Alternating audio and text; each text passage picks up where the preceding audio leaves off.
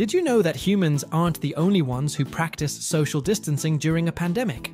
Believe it or not, ants do it too.